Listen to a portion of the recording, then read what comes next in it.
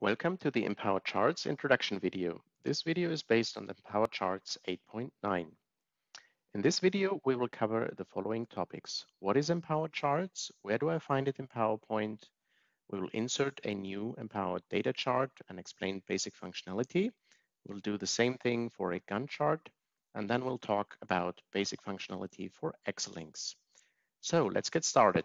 What is Empower Charts? Empower Charts is a PowerPoint add-in that allows you to create uh, powerful charts with advanced functionality, such as in-chart legends, sum labels, different types of arrows, and many other functionalities, such as powerful number formats.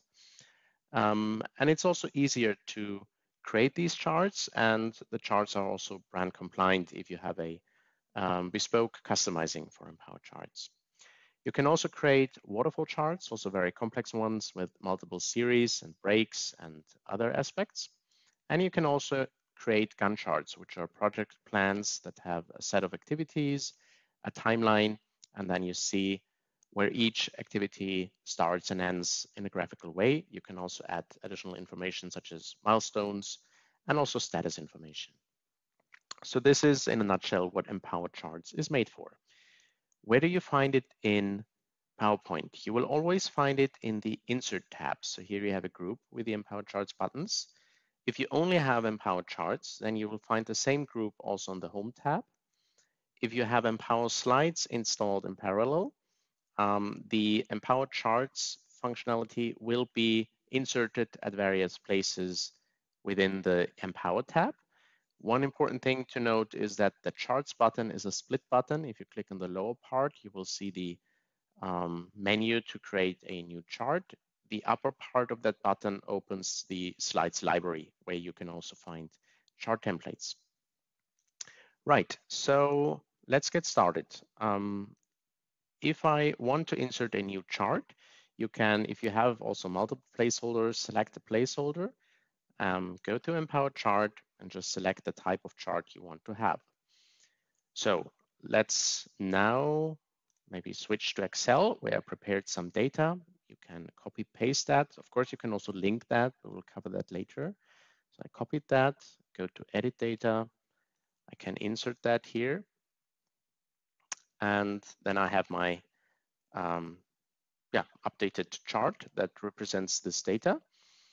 You can do many things inside the chart. So you can drag labels. You can also drag um, these um, axis or sorry, series labels. Um, you can, if you click once, recolor one data block. If you click twice, you can uh, recolor or format the entire series. And yeah, depending on the chart, you can also do other things inside the chart. So then let's talk about the menu for a second. So here you will find the possibility to insert various arrows. I will just do this very quickly here with um, one um, growth arrow.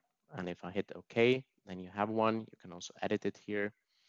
In the data labels menu, you will find a lot of settings to configure all the data labels. In the series menu, you will find settings to configure entire series also to switch, for instance, um, one series to align to create a mixed chart. In the properties menu, you will find general settings for the entire chart. So bar width or font size or configuration about axes and so on. With data, you configure the order of series and categories and also the orientation of the chart when it comes to how it's structured in Excel versus here. And with edit data, you get to the mini Excel representation where you also have a useful toolbar to do certain uh, data transformations. Right, so this is in a nutshell how an, an data chart uh, can be used.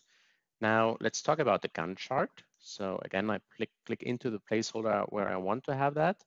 Um, if I don't have that, um, you can also draw basically where you want to have your Gantt chart.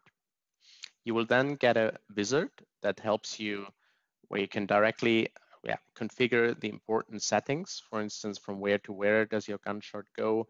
Um, which maybe you want to uh, take control over from where to, uh, which um, levels of, uh, of the date line you want to see. So maybe the year, the month, and the week. And you can also configure other settings like how many um, faces and rows you want to have, and if you want to have notes columns. So this helps you to save a lot of clicks later on. And then inside the Gantt chart, you can just either draw um, objects or you can use uh, here date pickers, or you can also go to edit data where you have a mini Excel representation of the Gantt chart and you can uh, enter um, the start and end date as well as a label um, as well as other information. And there is also help text below that helps you to work with the Excel uh, to fill a Gantt chart. Mm, we'll make a separate video to go into all details, but most, most of the stuff is self-explanatory. So you can insert new rows, you can insert uh, various other objects here. You have uh, in the properties menu general settings um, to configure the look and feel of the Gantt. And uh, you can here also link uh, your guns to an external Excel file. Right, so but in a nutshell, I think you understood uh, pretty well that you can just uh, graphically create your project plan and um, enter the information you want to visualize. Right, then let's talk about Excel links. So there are different ways to create Excel links. I will just show you maybe two of them. So if I want to link this chart to an external Excel file, I can just select it, select data, Excel link, and it will show me the open files that I currently have open. So I select this one. I have here selected the table, um, just hit OK. And now this chart is linked to that external Excel file. Another way to uh, create links is to start the process in Excel. So if I want to visualize this table in a PowerPoint table, I can here go to the Insert tab and say I want to link my selection to an existing object in PowerPoint. And I can click here on this table and say Create Link.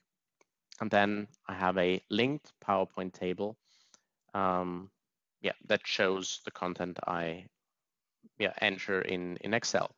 You can also enter um, just pure text links. So if I pl place my cursor here and right click and say create an Excel link to this file and link to this cell and hit OK, then I also have basically here a text field, which is now linked to Excel.